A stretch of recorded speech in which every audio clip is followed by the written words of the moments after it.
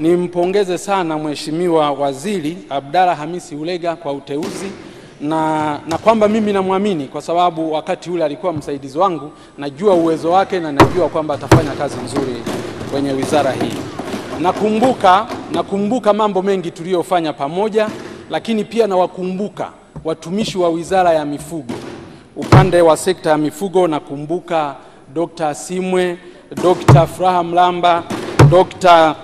Mwambene, Dr. Mlawa, Dr. Shirima, Steven Michael pamoja na Imani Sincharwe na Noeli. Lakini upande wa, wa uvuvi nawakumbuka vizuri sana Chama Marwa, Madaha, Komakoma Koma ambaye alipima samaki hapa bungeni. Namkumbuka West, West Mbembati, Lomani Mkenda, Duhasile, Judith Mgaya, Dr. Sweke na Dr. Mlalila. Tulifanya kazi nzuri na wengine watumishi wote wa wizara hii ya mifugo na uvuvi ambao tulifanya kazi nzuri zunguka nchi hii karibu kila sehemu, lakini pia tulifanya kazi hadi saa saba usiku wakati mwingine, lakini wakati mwingine tulikesha ofisini katika slogani ya Masani namba. Nawashukuru sana, bado nakumbuka mchango wenu mkubwa katika taifa hili. Mheshimiwa Mheshimiwa Mheshimiwa Mheshimiwa Mheshimiwa ni, nipongeze sana hatua za wizara ambayo sasa hivi wanaendelea ujenzi wa bandari, ni jambo ambalo nilitamani sana, lakini uwekezaji unaoendelea NARCO sasa hivi na upongeza sana, ni jambo zuri. E, tofauti na mawazo ambayo tuliletewa mwanzo kwamba sasa inabadilishwa tena inakuwa shamba la alizeti. Kwa hiyo hii mipango ndio tunayoitaka na waziri aendelee. Mheshimiwa Waziri, utakumbuka kwamba ulishaniahidi, wizara iliahidi ujenzi wa, wa, wa, wa, wa mnada wa kimataifa Mwandoya na eneo lilishapatikana, wataalamu walishalikagua. Sasa tunachotaka huu mnada ujengwe. E, unataka utuambie katika utakapokuwa una wind up sasa, mnada huu wa kimataifa ulioahidiwa na serikali toka mwaka 2020 wa Mwandoya unaenda kujengwa. La pili ni wapangaji katika ranchi ya Mabale. Kuna wananchi waliopanga zaidi ya vitalu 23 lakini na walisha saini mikataba yao muda mrefu zaidi sasa ya mwaka mzima, lakini nakala ya mikataba hiyo hadi sasa hivi kampuni la ranchi za taifa NARCO halijawarejeshea mikataba yao. Tatizo ni nini? Waziri, kamilisha maliza hili tatizo la mgogoro wa hawa wafugaji ili waweze kupata haki yao kwa mujibu wa, wa sheria. La tano ni ukamataji holela wa mifugo.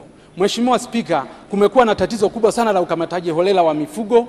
Sheria ziko wazi, sheria ya magonjwa ya wanyama namba 17 ya mwaka 2003 the animal, the, the Animal Disease Act, lakini pia na sheria ya ustawi wa wanyama namba 19 ya mwaka 2008 na kanuni na kanuni ya the, the, the, na kanuni ya the Animal Welfare Impounded Animal Regulation 2020. Hizi kanuni ziko vizuri sana juu ya ukamataji wa mifugo, lakini bahati mbaya sana watendaji wengi wa serikali wamekuwa wakizi, wamekuwa wakizivunja kanuni hizi. Na mambo haya yamekuwa yakijirudia, na kwa- kikubwa ni kwamba kuna maslahi makubwa juu ya ukamataji huo wa kiholela, na tunasikitika kwamba kila tunapozungumza hapa bungeni hakuna hatua zinazochukuliwa na serikali. Mfano, ukamataji holela ambao unapelekea wanyama wananyimwa malisho, wananyimwa maji, wananyimwa dawa, wananyimwa chanjo. Matokeo yake mifugo imekuwa ikifa tu ikiwa imeshikiliwa na serikali. Tunazungumza wafugaji wa mwisho mwaka elfu mbili na ishirini waliokamatiwa mifugo yao ikafa zaidi ya elfu sita mpaka leo hii wanakuja kudai hapa mifugo. Na bunge lako niliahidi bunge lililopita, Mheshimiwa Mlangale, saa kumi hapa pamoja na wafugaji zaidi ya kumi na mbili kutoka jimbo la Kisesa wamekuja na fimbo zao kufata ng'ombe zao hapa kwenye hapa Dodoma. Namba mbili ni ukamataji wa bila kushirikisha viongozi. Mifugo inakamatwa, viongozi hawashirikishwi, wafugaji hawaitwi kuhakikisha mifugo yao. Matokeo yake mifugo inaibiwa, mifugo inapotezwa, mifugo inauzwa kiholela. Sasa hivi tunavyozungumza kule Kilombero, DC wa Kilombero wamekamata mifugo zaidi ya, zaidi ya siku kumi sasa. Mifugo hawakuwa kwenye hifadhi, zaidi ya ng'ombe elfu mbili na themanini na mbili hawakuwa kwenye mifugo, lakini wameshikiliwa tu. Maelezo hayatolewi, ushirikishwaji haukutolewa, mifugo wanaendelea kufa na wengine wanazidi kupotea na wengine wanazidi kuibiwa. Lakini lingine ni mifugo kuuzwa kiholela. Mifugo inakamatwa baadaye inauzwa kiholela kwa sababu haijahesabiwa, haijulikani, inauzwa kiholela na sheria zinasema mifugo hii lazima iuzwe kwenye minada kwa bei ya ushindani na kwa uwazi. Matokeo yake mifugo hii imekuwa ikiuzwa porini na serikali inaruhusu hilo jambo kuendelea, na hapa serikali ilituletea hapa. Kuishia Disemba, serikali iliuza mifugo elfu tatu ng'ombe elfu tatu mia nane na ishirini na nane. Mifugo ng'ombe hawa kila ng'ombe baada ya hapo serikali ikauza kwa, mil, kwa milioni 685 kwa maana ya kwamba kila ng'ombe aliuzwa kwa, kwa shilingi laki moja na themanini wakati average ya, mifu, ya ng'ombe mmoja ni laki saba na hamsini. Maanake zinaibiwa karibia laki tano na sabini kwa kila ng'ombe. Na katika transaction hiyo tayari wale watumishi walijinufaisha zaidi ya bilioni mbili pointi moja nane. Haya yanafanyika na sisi wabunge tuko hapa na serikali iko hapa. Lakini vile vile e, bei ya bei ya nani? Bei faini za wafugaji laki moja. Wanatozwa wafugaji laki moja. Haimo kwenye sheria ya wanyamapori haimo kwenye sheria ya misitu. Lakini wanaendelea kutozwa mheshimiwa spika waziri mkuu alitoa tamko hapa la kuzuia hayo mambo kutokea lakini mambo hayo yamekuwa yakiendelea. Mimi siamini kama wale watumishi wana, wana, wana, wana uwezo wa kuzuia maelekezo ya waziri mkuu, isipokuwa waziri mkuu yeye mwenyewe anaruhusu haya mambo yafanyike na yanafanyika kwa ridhaa yake. Swala la Heleni, swala la Heleni, mheshimiwa, swala la Heleni, mheshimiwa waziri mkuu alitoa tamko hapa la kuzuia Kuhusu swala taarifa mheshimiwa. Mheshimiwa Mpina, kuna taarifa kutoka kwa Mheshimiwa Dr. Ndumbaro, Waziri wa Katiba na Sheria. Asante sana Mheshimiwa Spika. Mheshimiwa Spika, naomba nimpe taarifa Mheshimiwa Mpina kwamba hakuna uthibitisho huo kwamba Mheshimiwa Waziri Mkuu ametoa ridhaa. Huko ni kutumia vibaya jina la Mheshimiwa Waziri Mkuu, jambo ambalo kauli ambayo sio nzuri na sio ya kiungwana. Lakini la pili, nimpe taarifa pia kwamba ni moja, Mheshimiwa. asante Mheshimiwa. Mheshimiwa Mheshimiwa- Luhaga Mpina, unapokea taarifa hiyo? sipokei taarifa yake na naomba niendelee. Mheshimiwa, swala la ufungaji wa Heleni mifugo, Taarifa. Mheshimiwa Waziri Mkuu, Taarifa. nimalizia muda wangu. Mheshimiwa Spika, naomba usipokee taarifa yoyote. Nimalizia muda wangu. Mheshimiwa Mpina, kuna taarifa kutoka kwa Mheshimiwa Ngetere. Mheshimiwa Mheshimiwa Spika, naomba nimpe taarifa mzungumzaji. Kati ya watu mahiri sana wanaowasaidia wafugaji katika kutatua matatizo yao ni waziri mkuu. Kwa hiyo naomba ile jambo asiingilie kwenye nani. Mheshimiwa Mheshimiwa Spika, naomba niendelee. Mheshimiwa Spika, naomba niendelee na unilindie muda wangu. Mheshimiwa Spika, naweza nikaendelea pamoja na makofi haya yakiendelea. Mheshimiwa Spika, naomba niendelee. Ufungaji, swala la swala la ufungaji wa, wa Heleni linaloendelea hivi sasa, Mheshimiwa Waziri Mkuu alitoa taarifa hapa. Hizo ni fujo, hizo ni fujo. Mbunge huwezi kufanya mambo hayo, hizo ni fujo. Waniache muda ambao Mheshimiwa Mpina, subiri kwanza. Umepewa taarifa na Mheshimiwa Getere, unaipokea taarifa hiyo? Mheshimiwa Spika, siipokei, naomba niendelee.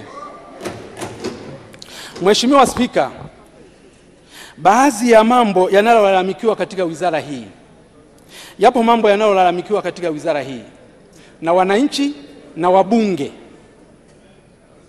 lakini wizara imekaa kimya, mambo ambayo wakati mwingine yanaenda kupelekwa mpaka kwa rais wa awamu ya tano Dr. hayati hayati Dr. John Pombe Joseph Magufuli, mambo ambayo yalitekelezwa kwa mujibu wa sheria, Taratibu, mambo ambayo yalitekelezwa kwa mujibu wa sheria.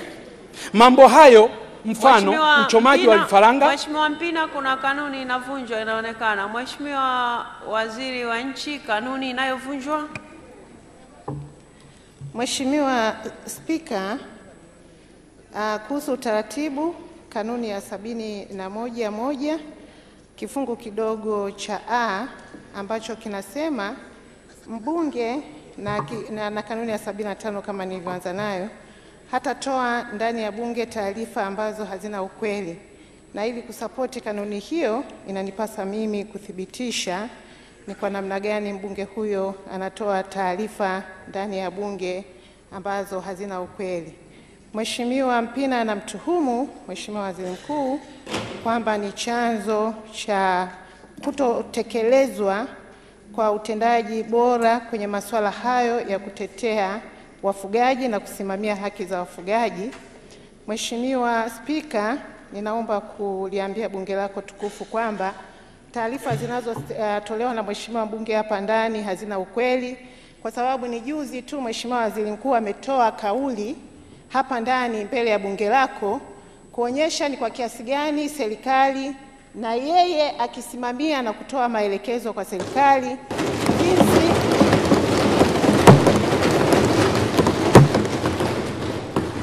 namna bora ambayo serikali itafanya kushughulikia migogoro ya wafugaji, kushughulikia migogoro ya hifadhi, lakini kuhakikisha pia malalamiko ya wabunge, malalamiko ya Watanzania, maazimio ya bunge yanafanyiwa kazi ipasavyo ili kulinda heshima ya serikali, heshima ya wabunge, lakini vile vile vile vile kujali hali na malalamiko ya Watanzania katika maeneo yao. Mheshimiwa Spika, naomba utaratibu wako kama jambo hili analoendelea nalo Mheshimiwa mbunge na pamoja ya kupewa taarifa mbili amezikataa, kama ni jambo sahihi na linakubalika ndani ya bunge lako.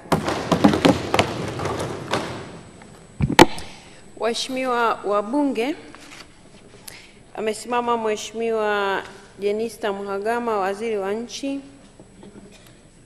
Uh, amesimama akionyesha kwamba kuna kanuni inavun, inavunjwa wakati Mheshimiwa Mpina akichangia na ametupeleka kwenye kanuni ya sabini na tano ambayo inampa fursa ya yeye kusimama na kueleza ni kanuni gani inayovunjwa na ametupeleka kwenye kanuni ya sabini na moja uh, fasili ya kwanza a akieleza kwamba maelezo aliyoyatoa kwamba kwa kanuni ya sabini na moja fasili ya kwanza a inakataza uh, wabunge kutoa taarifa ambazo hazina ukweli na ameeleza kuhusu mchango wa Mheshimiwa Mpina ambao kwa yeye Mheshimiwa Jenista alivyouona ameona ametoa taarifa ambazo hazina ukweli.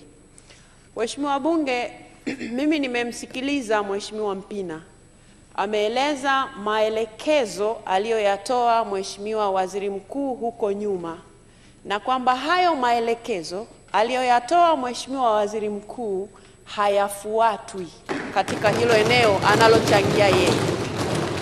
Kwa muktadha huo ndio anasema ikiwa Mheshimiwa Waziri Mkuu ametoa maelekezo na hayafuatwi na wale wanaopaswa kuyafuata, basi maana yake mtoa maelekezo yeye mwenyewe pia anaona sawa, ndio mchango wake ulipo, ndio mchango wake ulipo, kwa sababu mimi nimemsikiliza kwa maneno aliyoyasema. Sasa Mheshimiwa Jenista ameomba utaratibu kwamba taarifa alizozisema hazina ukweli. Sana sana hapo mimi nitataka kujua katika yale maelekezo ambayo Mheshimiwa Waziri Mkuu aliyasema, ni kweli aliyasema hayo maelekezo ama hayapo? Kama yapo, je, yamefanyiwa kazi au hapana?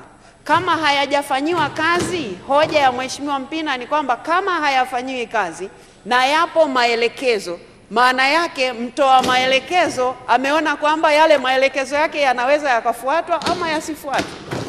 Ndio hoja ilipo ya kisheria kabisa kuhusu utaratibu. Kwa hiyo ndivyo mimi nilivyomsikia Mheshimiwa Mpina. Sasa kama amesikika vinginevyo, Mheshimiwa Jenista, mimi nitakupa nafasi nyingine. Hicho ndicho nilichokisikia ili niweze kutoa eh, niweze kutoa maamuzi kuhusu utaratibu huu ulioombwa. Kama maelezo yako tofauti na hayo niliyotoa, Mheshimiwa Jenista, nakupa tena fursa, na kama si haya, basi nitaenda kufuatilia kwenye Hansard, alafu nitakuja kutoa uamuzi hapa. Mheshimiwa Jenista, nakupa nafasi nyingine.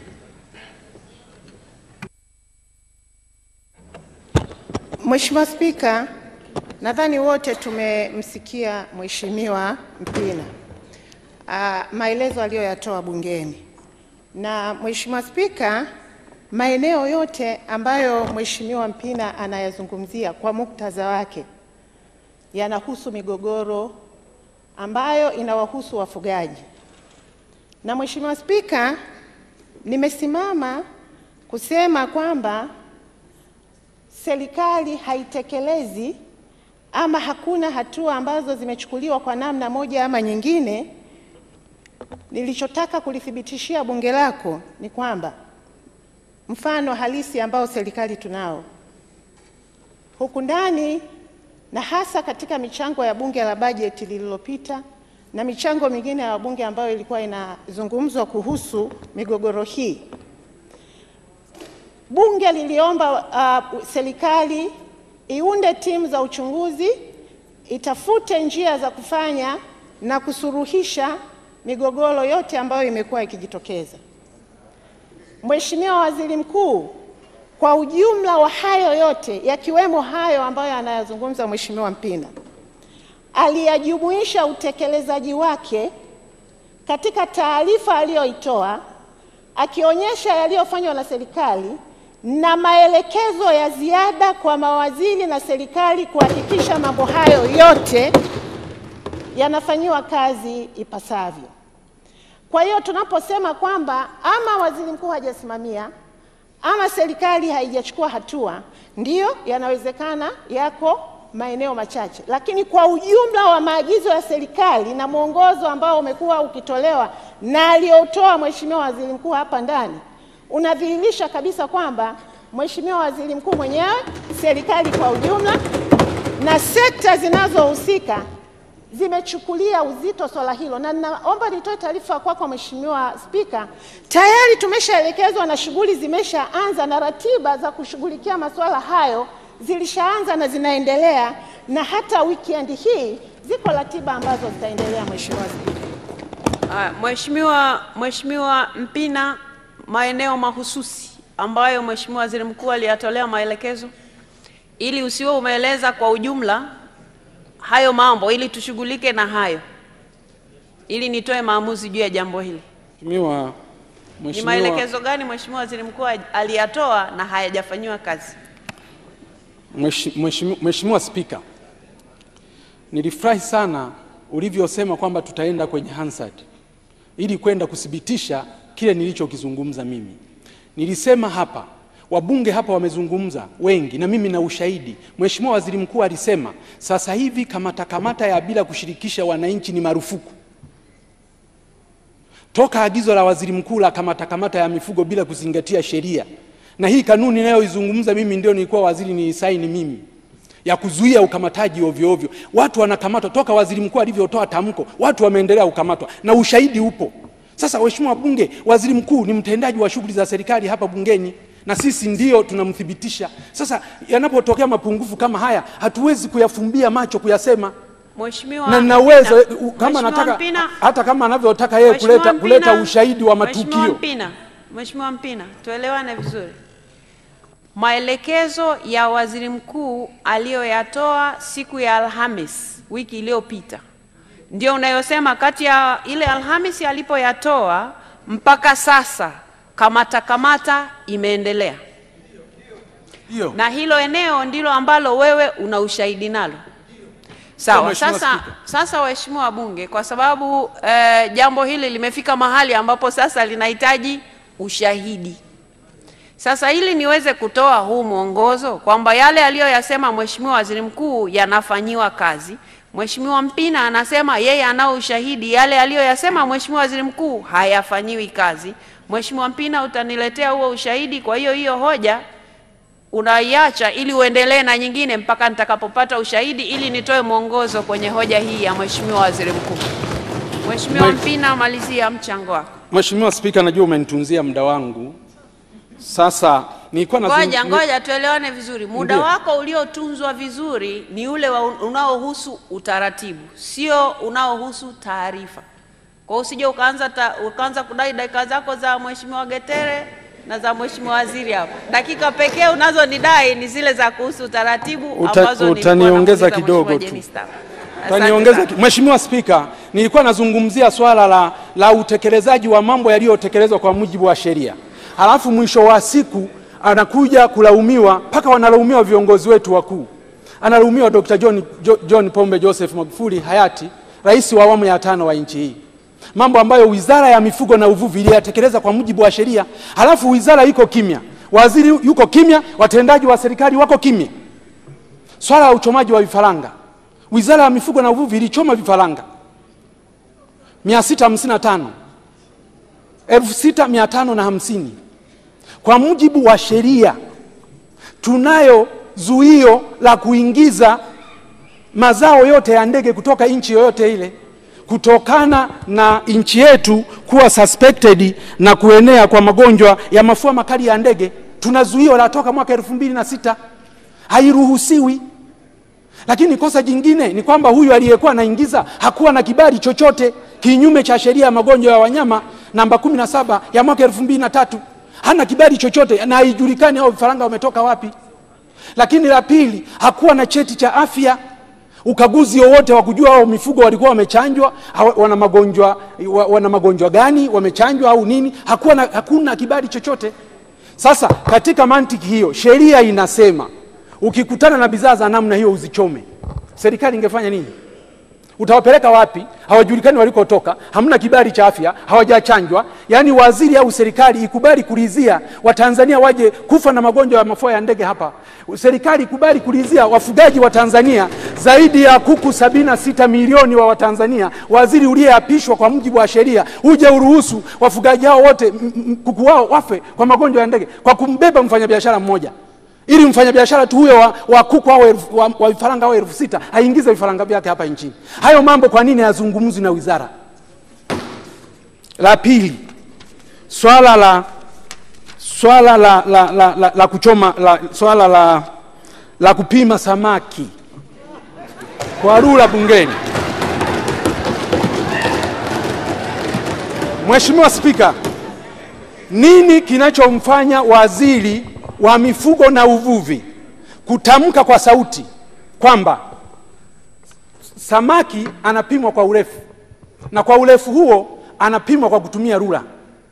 Waziri wa uvuvi anashindwa nini kusema kwa sauti kwamba ili uweze kukizi matakwa ya kanuni namba 58 ya, ya, ya, ya, ya, uvuvi, ya kanuni ya uvuvi ya mwaka 2009 ni lazima umpime kwa rula ili uthibitishe vipimo kama ni sangala au sato. Anashindwa nini kufanya hivyo? Mambo haya wanazidi kutapakazwa, viongozi walipima rula, walifanya hiki na kile. Muda wako umekwisha, asante sana. Dakika moja, dakika moja tu. Mheshimiwa Spika, naomba dakika moja tu, Muda wako umekwisha Mheshimiwa, asante sana. dakika moja, dakika moja. Hiyo dakika ilikuwa nikupe, lakini nachelea. Unatukumbusha mtu anapima samaki ambaye kashapikwa, yuko tayari kwa ajili ya kuliwa na rula.